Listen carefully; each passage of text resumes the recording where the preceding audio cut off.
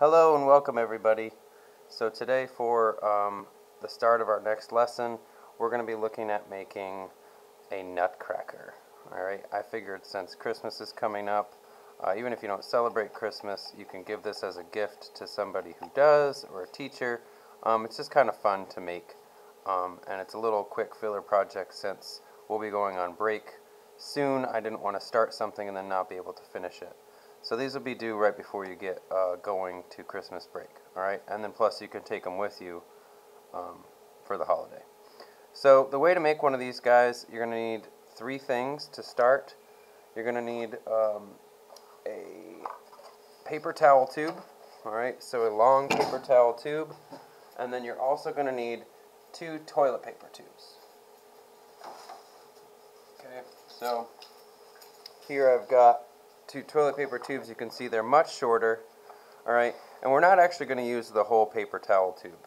So this one tube is going to outfit two students um, as far as the midsection of their nutcracker. So you want to cut it in half. All right, and you'll see that even half of one of these tubes is still larger than a toilet paper tube. Okay, and we want that. So in order to get the arms and legs made, we're actually going to take our toilet paper tubes and you're going to cut them in half. So what I do is I squish them like this, and then you're going to cut right on that fold. So one,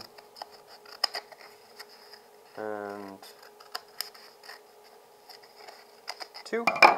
Okay, so you're going to do that to both of your toilet paper tubes.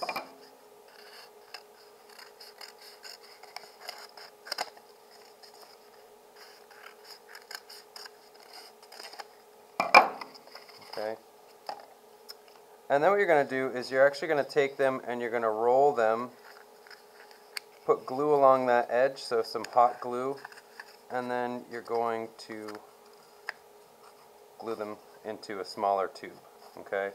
So just like that. So if it fits around your finger, that's perfect. And you need four of those.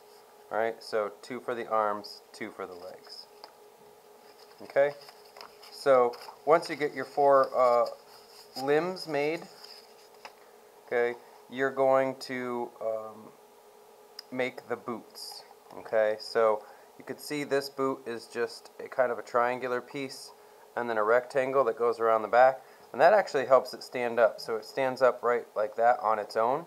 And yours will need to do the same, alright? Because if you don't make it stand, it's kind of silly. you got to lean it up against things. So we want to make it stand.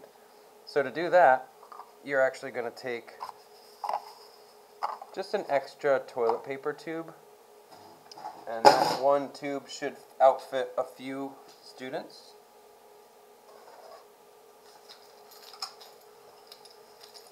Okay, so the first thing I'm going to do is I'm going to just cut, whoops, that just went flying. Okay, I'm going to cut a, a ring about this size. And what I'm going to do is cut it diagonally. Okay, so that's going to give me two shapes like this and that. Okay, what you're going to do is you're going to take it and you're going to flip it upside down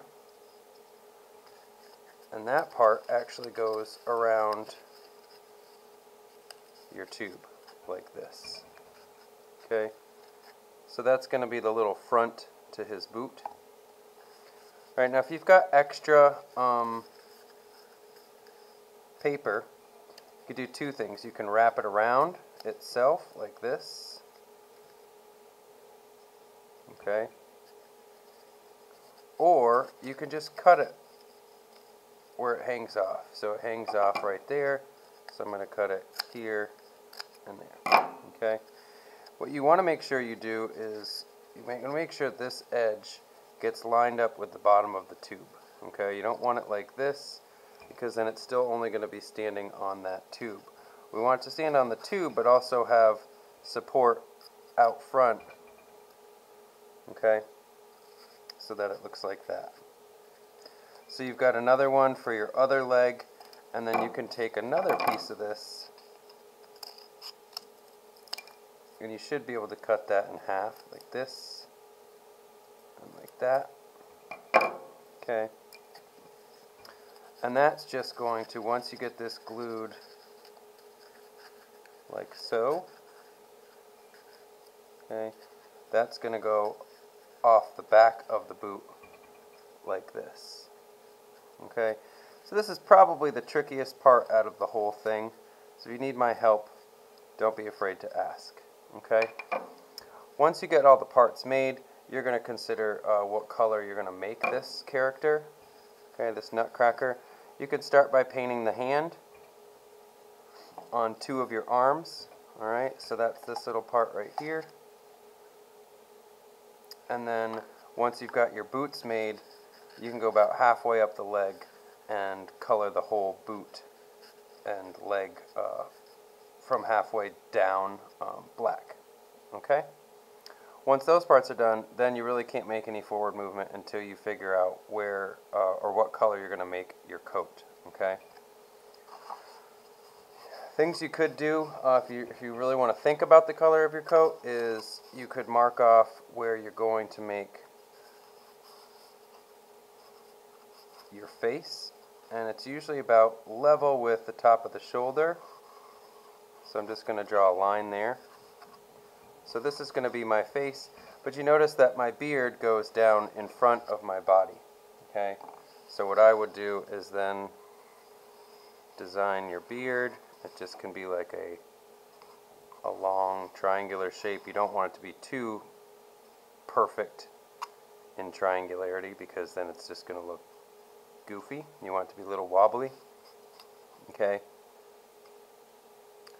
So now I know that from here up is going to get my flesh tone color. Alright, you can make his flesh tone or her flesh tone, I guess, if you want this to be a woman. You can not have a beard, I don't know. Um, that's all going to be flesh tone. And then you also do want to paint up for the mustache. And your mouth is going to go somewhere right here okay? So the little adornments or um, you know extra stuff that you put on can be done last all right um, so you don't get any paint on the pom-poms or the pipe cleaners and things like that okay so hopefully this helped um, and the rest we can cover in class or you can kind of just make up as you go as far as how you're going to paint it um, doesn't have to be flat color. You can make stripes um, and what have you. Okay?